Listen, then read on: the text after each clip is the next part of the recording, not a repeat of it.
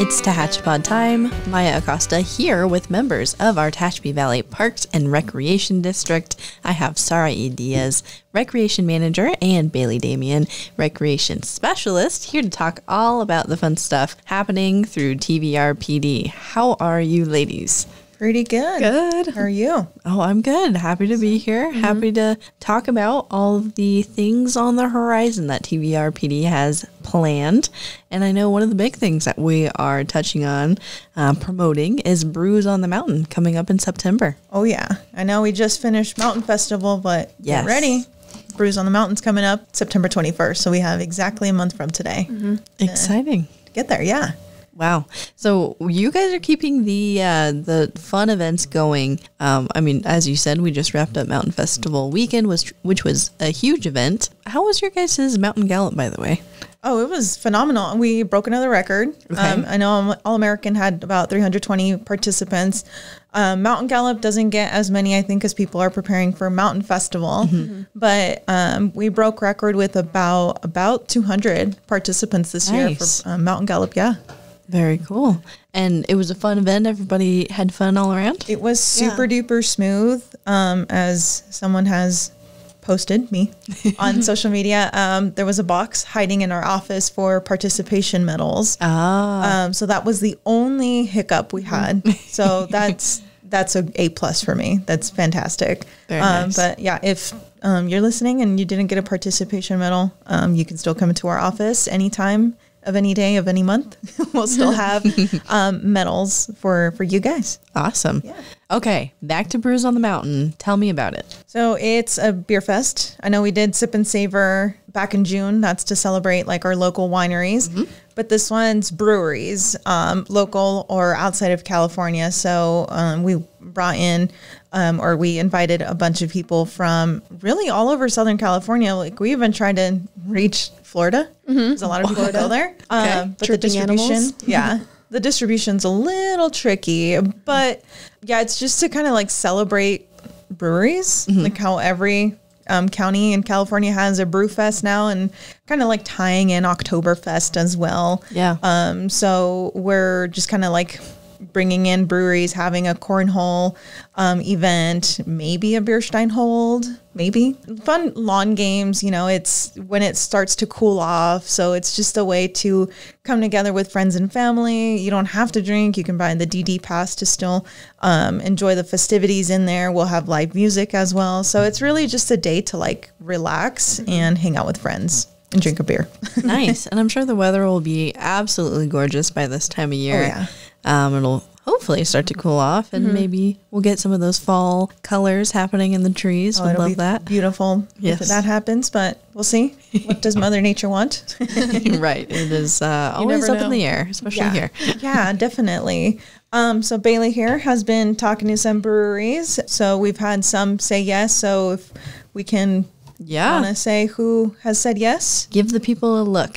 So as of now, Kern River Company, they've said yes, so they'll be there. We also have Lengthwise, West Lane, P Dubs, and Bravery Brewery. Awesome. And those Yes. are like some real staples of our area, not just Tehachapi, but Bakersfield, Lancaster. Yeah. Um, Kern River. Kern River. Yeah. It's their first time. Um, I believe year? so. Yes. Yeah. So it's Cool. been, we just want, our process was whoever wants to come into Tehachapi, this is a way because they are familiar with one of these breweries, Mm-hmm. or Tehachapi people that go out to Bakersfield often. Right. Those breweries are coming in, so they don't have to drive out that day or going to Kern River or wherever it may be that they frequently visit. And Yeah. we're still working on getting more, but yeah, we have a good lineup so far. For sure. Very nice. We have food. You won't go starving. I was going to say, what, tell me about the food. oh, food's food's gonna be Kelsey's, P Dubs, Pokey Express, and what was the last one? California hot dog. California hot dogs. Um, Nice. They're they're always at our events, but yeah, those are gonna be our four foods. Maybe someone will be bringing pretzels. Uh, we- Okay. no one's confirmed, but we can make it a definitely Yeah. an Oktoberfest feel. yeah, you guys are like really getting people in the mood for the Oktoberfest. You're Yeah. like right before it. mhm, helping Yeah. people dip their toes in to Yes. that, Oh, um, yeah. those fall festivities. Oh, definitely. No, it's a good way to kick it off. I mean, having gone to Munich, Germany, they do start Oktoberfest around that time, um, just because over there it does get pretty cold in October. Um, so this is a good way to experience it in the small small zone. Just because in Munich, it like I think they said like two million people went last oh year. Oh my gosh. So if you just want to like experience a small festivity, this is definitely the place without being so crowded. Mm-hmm. Yeah, very cool. Yeah. Looking forward to it. If people want to purchase tickets, how can they do so? tvrpd.org. Um, you'll see our banner there for Brews on the Mountain. You can come into our office at 490 West D Street, right behind West Park, or you can give us a call at 661 822 3228 and we can help you purchase your tickets. Um, we do want to mention that this is 21 and over only, um, so start making phone calls for your kids. We did try to make it for kids, but the planning just didn't really work out. Um, so this is 21 and older. All right, everybody get those babysitters booked for that weekend. Yes. Very fun stuff. Yeah. Okay, so aside from Brews on the Mountain, which is a big lift, lots of planning goes into that. You guys also have your TOTS program kicking off here soon. Yes. Tell me a little bit more about that. Um, Yeah. Can kids still sign up? What is there to know about it? Yeah, so um, there's two different types of programs. There's like the the TOTS Tall and Tater TOTS program, and then there's the Summit Seekers program. So I'll start off with the Tall and Taters, which is like a pre-K kind of deal, from ages three to five. So it's brought by Kelsey Ketcheside. She's done phenomenal, the TOTS director. This is just a program to help kids of that age to grow and get them prepared for kindergarten. So they learn how to write, they learn how to, you know, um, behave a- around other students because I know that's like a big problem. They learn sensory skills, they learn how to ride bikes, like all these fun things. It's not just like pure education. They learn even how to hold scissors and craft stuff. They um, help with the teachers like create like the Christmas ball, um, get that prepped up. Just have a lot of fun. Their big thing is having fun while secretly learning, if that makes sense. So that's her big thing is getting those students in so that they, they have a chance to make friends and get out and just experience more in that very I guess important stage of their life because Yeah. they're learning how to talk and they're learning to come out of their comfort zone and even just learning how to be out of out away from home, away from their parents, but still in a secure area. So that's the Tater and Tall program. Um, and then Summit Seekers is a brand new program that Kelsey worked really, really hard in um, for homeschooling um, enrichment. So there's homeschooling, we have Heartland, Valley, Oak, just all these different programs. But if they need extra help, they have to hire a, a private tutor. And usually that gets pretty tough to mm-hmm. hire one.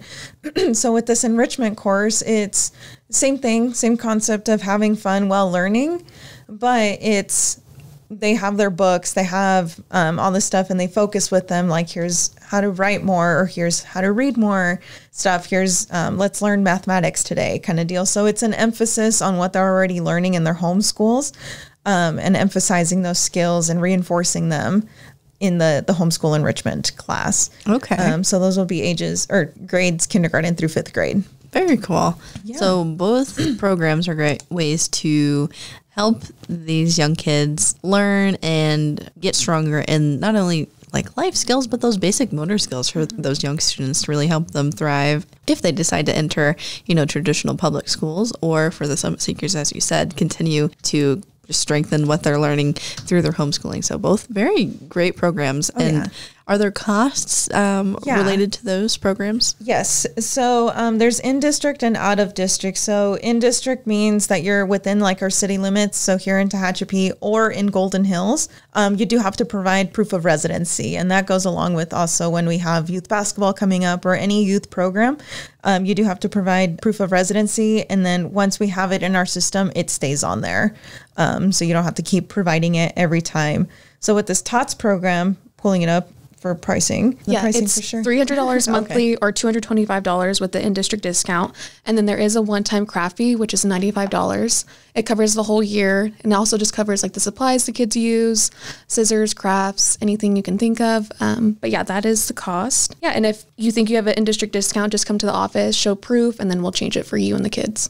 Awesome. And so is it easier for people to go into office to sign up for those programs online? From what I've seen, yes, it's easier to come in because you might also get the chance to meet the TOTS director. And if you Okay. have specific questions, she'll Yeah. be able to help more than us because we're, we're just rec staff. We're just kind of like getting bits and pieces here and there, but she is the, the pro at this. So if you come in, there's a good chance you might even like tour the place or whatever it may be um, with questions as well. Um, she is having an open house next Tuesday. So if you guys want to go see it in person, meet the teachers, meet other potential students, see what the classes are like, where it's even located, um, she'll be having the open house next week, either at in the gym, which is 410 West D Street, or at um, Tall Tots, which is at Central Park, um, 311 East C Street, or even for Summit Seekers, which is the Church of Christ, which is right next door to us, which is 401 South Mill Street. Will there be more information on that um, on your guys' social media so people Yeah. know? So on all social medias and then also on tvrpd.org Okay. um, under activities, you'll find the, the TOTS program information. Awesome. Yeah. All right. And then looking out into the horizon, we are just kind of approaching maybe the end of summer. We have fall right around the corner. And a huge event for you guys is the Turkey Trot. Can you give us a little sneak peek, a little preview of this, um, seeing as how successful you guys' recent 5Ks have been? We're hoping to break another record. That's like my thing is We will. I want to break records Yeah. all year long and you know years moving forward. Turkey Trot always happens the week before Thanksgiving, so it's projected to be November 23rd out at Brite Lake. So just, you know, imagine fall changing colors, crisp coldish morning. Um, some hot chocolate will be provided after the race, and you're running around the whole Brite Lake. So there's a full course that you run around. Um, I think it's like the most gorgeous 5K to run. And then top three males and top three females win a turkey. Nice. So definitely prepare for that one. Um, it does get chilly, but it's like it's super duper fantastic. So yeah, it'll be most likely November 23rd. We haven't set it in stone just yet, and the race will start at 7 a.m. All right. Sounds good. People, get your running shoes ready and get that training in now if it's something you want to do. And there are people that do dress up. Like, Ah. and we even have a turkey costume. um, so I've seen like the the turkey hats. I've seen turkey shirts. So that one, like, if you have been shy to wear any festival festival looking um, attire, this one definitely. I can guarantee you that there are people that do dress up for this one. So don't be shy. Don't hesitate. Wear your Thanksgiving attire and come on over and run. Love it. Now's your time to go all out with the fun festivities. Yeah, no. So um, definitely be on the lookout. We should be posting here very, very soon. Awesome. All right. Anything else going on TVRPD related? I know you mentioned we have co ed softball just about to start kicking off. If people are interested, I know you said teams are filling up pretty quickly, but if they people just want to go out and watch, is that a thing that they can do? Yeah, yeah. of course. So this Thursday, registration closes, so they still have time. Um, the league starts September 3rd, and then it'll end October 16th. That's the championship game. It's held at the West Park Grimes Field, so everyone can come and watch. Uh, we actually have our championship tonight for men's league. We'll have California Hot Dog there. Um, so if you want to come out, see if the game's for you, definitely come and support. I know there's on our Facebook, we have also said, like, if you haven't found a team, just comment down below your name and number. So hopefully, if someone's like missing a guy or girl, they can just pick you up from the Facebook. Very cool. Yeah. All right. Anything else I haven't touched on? Also be on the lookout for youth basketball. Okay. We Yes. talked Yeah. this morning about getting that set up. So youth basketball registration, it's coming up. It's coming quick. Even though the season starts January, we're already. Oh, yeah. Well, that's ready a- for registration. A super successful program for you Oh yeah, guys. it last year. I mean, well, this year it was another record-breaking Mm-hmm. amount. Um, so I'm predicting that it's going to be just as big, if not bigger. Awesome. So we're in the planning stages right now. We're going to get it set up and get ready to register. Um, please don't wait till last minute. Register them. Um, it helps everyone out with teams and the skill evaluations to get them in there so that the coaches can pick. So um, the skill evaluations will happen in November. So definitely once that registration goes up, which should be within the week, definitely start registering them and guarantee your spot because those do fill up, especially for boys from grades third through sixth grade. fill up a lot faster. Yeah. Well, very cool. All right, people, keep your eyes out. And again, Brews on the Mountain happening September 21st at West Park. Super exciting stuff. Buy your tickets online. Do you guys have um, bands and live music secured yet, or still in the process of looking? We're we got a, a bunch of submissions for Okay. bands, so um, it's in the works to get that um, finalized this week for bands. Um, so definitely be on the lookout. We heard some amazing Mm-hmm. bands um, as they were submitting stuff, so it's going to be very very difficult to hone it down um, to three bands. Very exciting. And how how long is the duration of the event? Are you gonna have live music throughout the whole thing? So VIP is from one to six p.m. Um, they get kind of like first dibs for everything, and then um, general admission is going to be from two to six p.m. Gotcha. Yeah. So the bands will be playing out throughout, um, but definitely I encourage you to get VIP, get the full experience. Absolutely. Good stuff. Again, tvrpd.org to buy those tickets or to learn more. Guys, thanks so much for coming in. Thank you for having us. Of course, we're excited about all of the fun things that you guys have going on and uh, continuing to keep our community busy and involved. And it's just great looking at all of our different community partners and organizations that are offering so much to our residents here. For sure. Yeah, no, I appreciate it. Um, I do want to mention really, really quick. Yes. We are still looking for a sponsor for Turkey Trot. Okay. So if anyone out there is wanting to sponsor Turkey Trot, um, please reach out to us. You do get access to kind of get like free registration for your whole company. Um, there's no limit as to how many can register for that Turkey Trot and much more benefits. So definitely reach out. Very cool. Great way to also show your support for the community there. Yeah, it's going to be fun. Awesome. Guys, thanks again for coming in. Thank you for Thank having you. us. See you next time. Of course. All right. Thanks everybody for listening as well. If you have any questions or comments, you can email us media at tehachapicityhall.com and we can get those to the right place. And thanks for tuning in. We hope to see you next time here on Tatchpod.